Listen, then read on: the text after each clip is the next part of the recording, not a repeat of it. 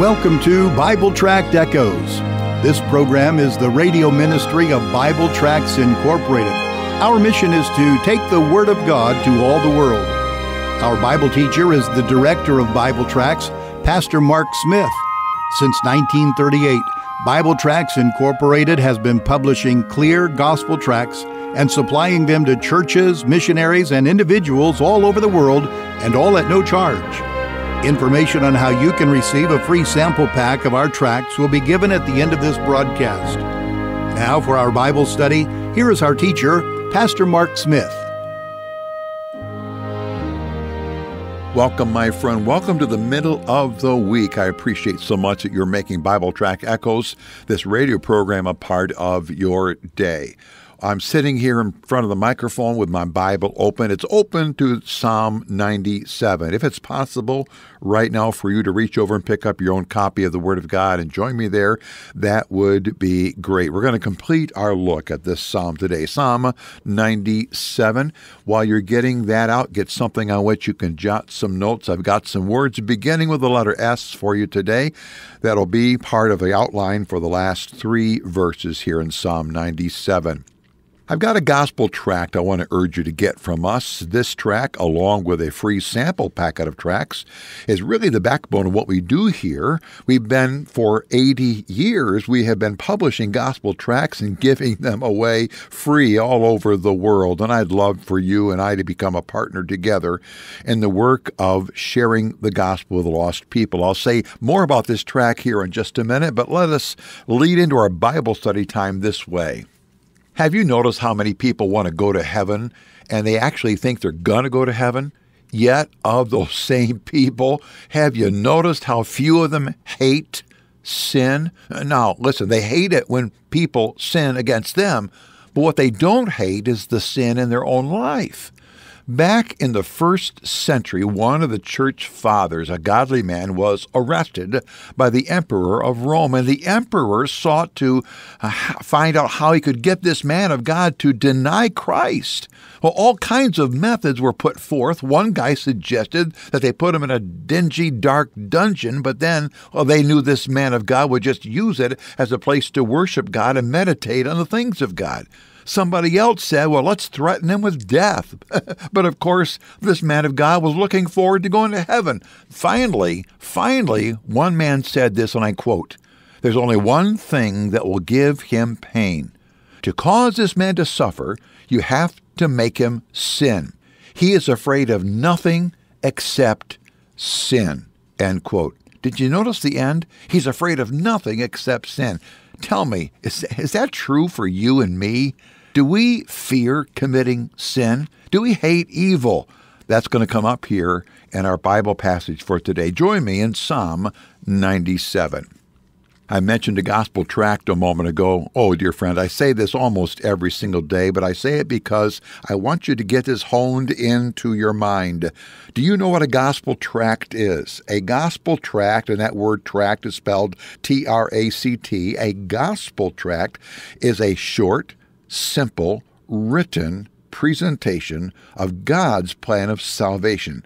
The salvation that God has for people is found in His Son, Jesus Christ, who died on the cross, shed His blood, was buried, and rose again the third day. Dear friend, when you or anyone receives Christ as Savior, they are set free. But the gospel tract in my hand right now is entitled Proclaim Liberty. Proclaim Liberty. It's based upon the whole idea of freedom.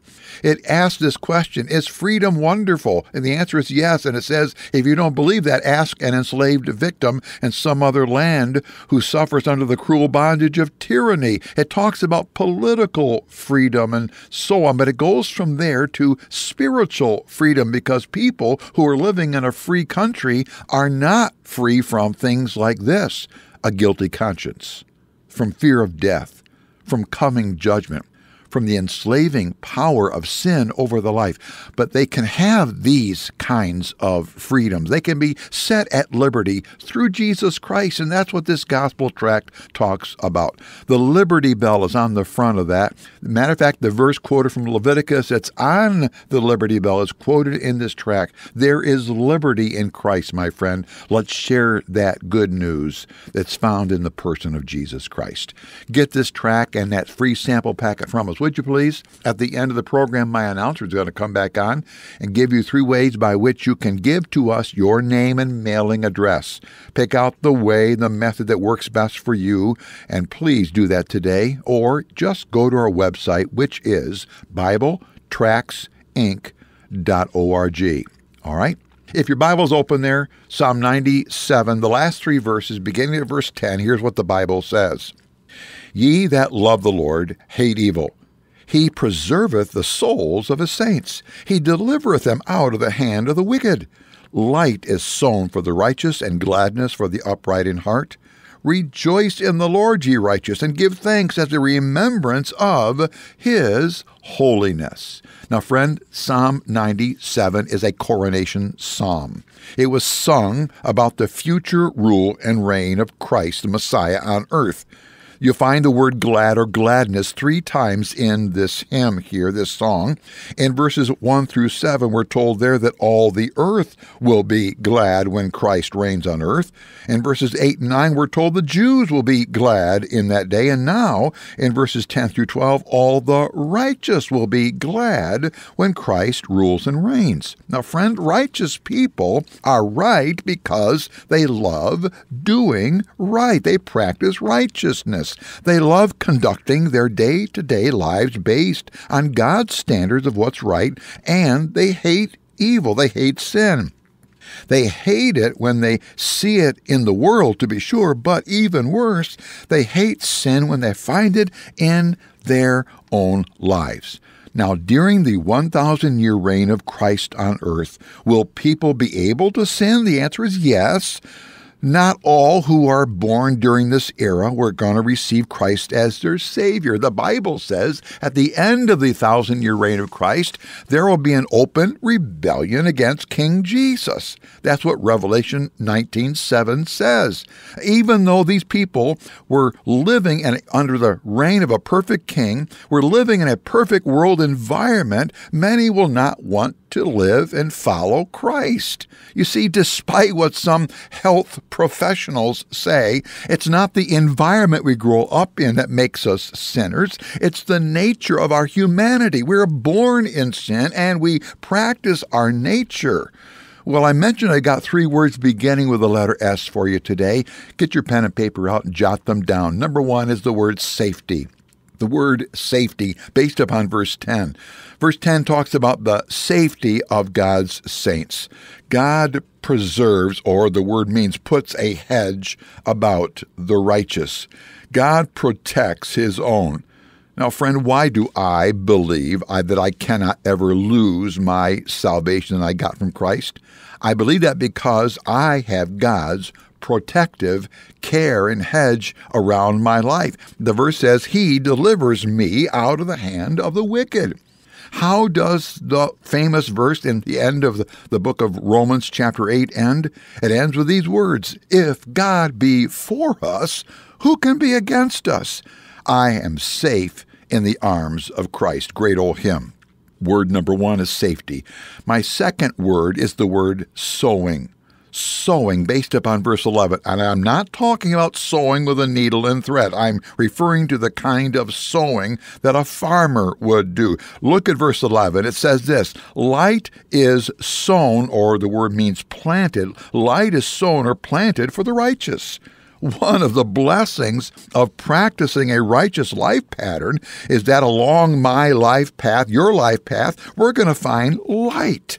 We're going to find light. And by the word light, I mean things like this hope, truth, comfort, encouragement, and help. These are the things that God has gone ahead of us with, and He's planted them in the path for us. We find them when we, first of all, are walking in righteousness, and number two, we find them when we need them.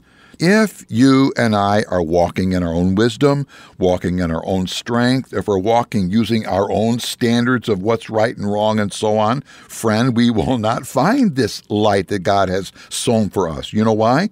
Because we're not in the path God has for us. We're on our own path, and His plantings aren't there.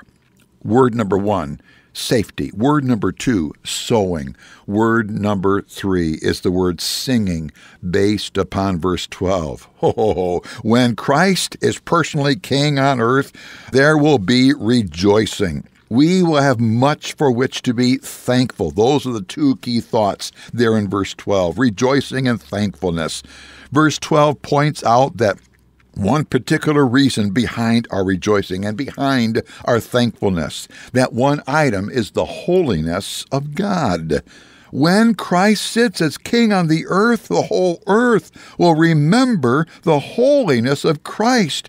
Remember, first of all, his holiness when he came the first time. He lived a holy life. They set traps for him to try to get him to uh, commit sin and so on. He didn't fall into one of them. He couldn't. He was God in the flesh. He lived a holy life, which made him fit to die as our Savior but they're also going to give thanks and rejoice at the holiness being implemented by Christ there as he rules and reigns from Jerusalem on planet Earth.